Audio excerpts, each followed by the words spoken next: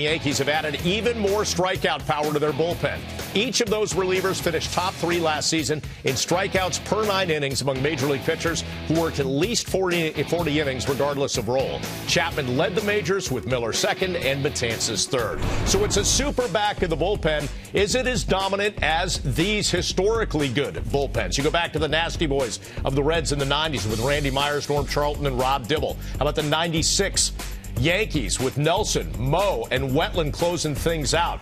The 2003 Astros went Lidge, Dotel, and then Billy Wagner, the flamethrower at the end. And you see a couple other options. The Royals obviously stand out here, Bob. But when you look in terms of dominant bullpens, do the Yankees right now match up with those? I think that plus one. I mean, plus 10 this team, this this bullpen, you know, is going to strike out a lot. The swings and miss ratio is going to be through the roof, in part because we're now in an era where hitters are up there swinging for home runs, and there's much less embarrassment about striking out than there was 10 or 20 years ago. So the strikeout numbers, I think you have to look at it in context. Nevertheless, these three guys that the Yankees have right now, I would say as a trio, are the most dominant relievers I think I've ever seen, I've ever covered, I think probably in the history of the game. Yeah, I concur with Bob. If they pitch to their resumes, they will have strikeout ratios like no bullpen trio that we've ever seen before, and there's no reason to believe that they won't do that. I thought Betances had an interesting quote the other day. He said he's looking forward to the game where the three of them come in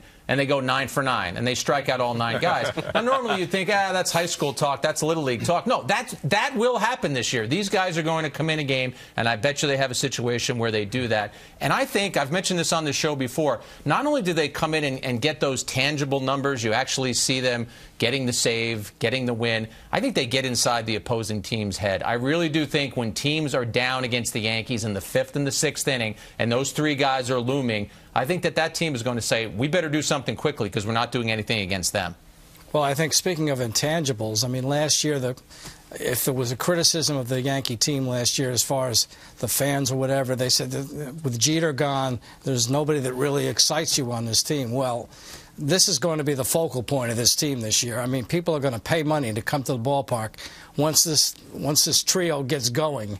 Uh, this is going to be quite a focal point when uh, these games get into the seventh inning, and all of a sudden you're going to see these three flame flamethrowers, one after another, coming into the game. I mean, people are going to want to pay money to see that. So I think that is an intangible maybe the Yankees thought about when they made this deal, but certainly bringing in a guy like Chapman, this guy is a person who puts fannies in the seats. Right, and I think Jack made a great point there because as, as, as much as you can look at it as, you know, they were already a good bullpen and Wilson was pretty good, Wilson doesn't get inside guys' heads. like, And, and that's a real thing. You know, you talk to hitters and they're going to be thinking about that. If they fall behind by a run or two, they're going to start pressing and maybe there'll be more leads to protect because of that looming threat. I think the biggest, uh, you know, the way this will help the Yankees is if they get in the postseason with all those off days mm-hmm. because you won't have to worry much at all about, you know, resting a guy or, or holding this guy back or this guy worked yesterday because you're going to have so many off days in there. Now, they got to get there. But if they get there, that could be a pretty killer combination in the postseason, like we saw with the Nasty Boys in 1990 and the Royals in 14 and 15. You know, but you got to get there. And, and, and, until you get there, I, am I'm, I'm not going to anoint them the best ever. I mean, we saw the Giants. You know, the Giants won three World Series. They didn't have the crazy strikeout numbers, but but guys like you know Affeldt, Romo, and Casilla, um, interchangeable sort of as closers, and the way that the way that Bochy used them. Wilson, one of those years too. Um, they deserve to be in the conversation just because they won three with the same guys.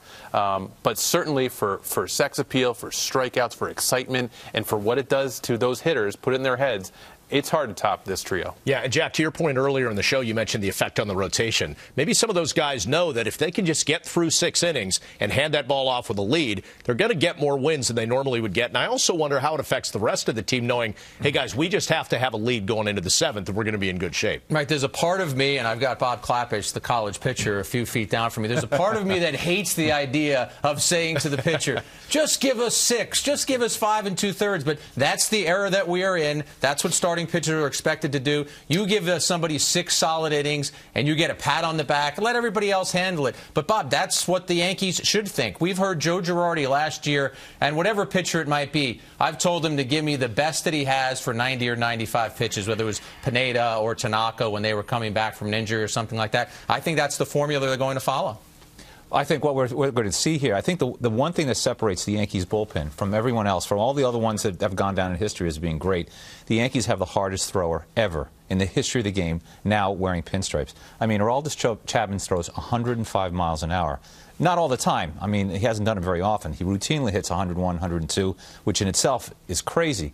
But 105 cannot be hit. It cannot be hit. The human brain cannot react to 105. Remember, in 2010, Tony Gwynn Jr. was at faced uh, faced Chapman on the day he hit 105, and after the game, he told reporters, "You cannot put the bat on the ball at that velocity. It cannot be done." So I think that's what sets the Yankees apart. That's what sets Chapman apart is this inhuman velocity. I mean, I don't know if he's going to throw 105 in 2016, but it's going to sure be fun to watch. You're talking about 105 as opposed to 75? 75 what? You're talking about? For you. you dialed it up a little higher than 75. Please, please. Hey, some of us aspired to 75, but we could throw a, little, a little high school curveball. But uh, yeah, I mean, 105, it, it, it's, it, it's amazing. It really is. I, I, he's, he pushes the boundaries of what the human body can do. You know, it, can the human shoulder sustain that? Can it, can it, can it move that fast to generate that much uh, arm speed to do that? You know, let alone the reaction time. So it's, it's definitely fun to watch, and it's going to be unprecedented. And the Yankees, as always, you know, the Yankees Yankees are always built on big stars, and Cashman or uh, you know Chapman has a lot of baggage for sure. But once he's out there on the field, you can just enjoy watching him pitch, and it, he's he's an event. He's an event every time he takes them out, and the Yankees are built on event kind of players. We can all guess what that 105 might be like, and Bob referenced Gwynn Jr. We had a player on the show earlier tonight, Didi Gregorius, who has faced Chapman. And when I asked him, what is it like to be in that dugout when he comes in the game, he said, you say to yourself, good luck. And he laughed, but he wasn't joking around. I mean, that's the kind of impact this guy could have. That's the kind of impact I think he will have. And I think we all talked about it, but it, it deserves to be reinforced. The idea that the Yankee fans have something electric at the end of the games to look forward to.